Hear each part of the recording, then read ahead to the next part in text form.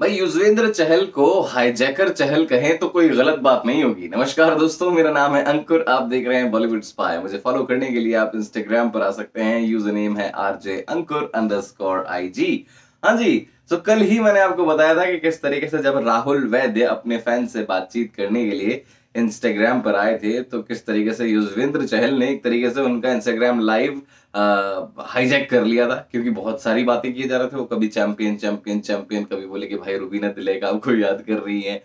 है ना? फिर बोले कि, भाई, मिलते हैं जल्द। मतलब फिर मज़े ले रहे थे युजवेंद्र चहल इंस्टाग्राम लाइव में राहुल वैद्य के।